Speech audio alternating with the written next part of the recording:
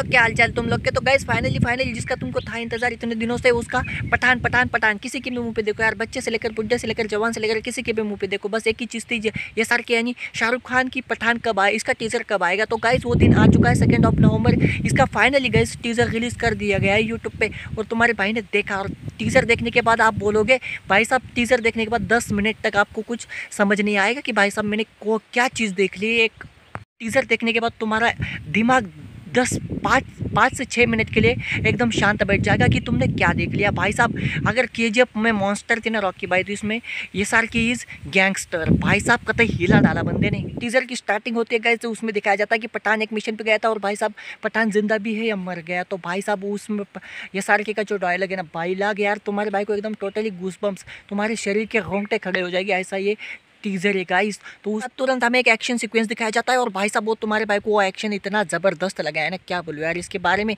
क्योंकि गाइस इसकी टीजर की आप कौन सी भी, कौन सा भी एंगल देख लो, भाई साहब कतई मास्टरपीस निकल के आएगा। जिस बारीकी से इस मूवी को बनाया गया है ना गाइस इसके टीजर को तो आप सोचोगे भाई साहब ये कतई अलग चीज़ देख लिया आपने। करें इसके बीजीएम की। तो गाइज़ इसका बैकग्राउंड बीजीएम सुनोगे ना आप टोटल हिल जाओगे। यार, इस तरीके का इसका बीजीएम है यार बैकग्राउंड का। और बात करें उसके बाद टीजर में एंट्री होती है अपनी दीपिका पादुकोण की, जहाँ पे सत्तर लौंडे उनकी वॉकिंग स्टाइल देखने के बाद घायल हो गए होंगे। और उनके बाद आते हैं अपने जॉन इब्राहिम जो कि एक दो सीन्स में दिखाए गए, पर जहाँ पे भी दिखाए गए, भाई सब कतई हिला डाला है उस बंदे ने भी। कैसा लगा टीजर तुम्हारे ओपिनियन कमेंट बॉक्स में ज़रूर बताना और हैप्पी बर्थडे ये सारे के कमेंट बॉक्स में कमेंट ज़रूर कर देना। और चैनल पर नए आए हो तो प्लीज़ यार सब्सक्राइब कर देना, घंटे दबा देना। तो मिलते हैं नेक्स्ट वीडियो में, तब तक के लिए टाटा बाय बाय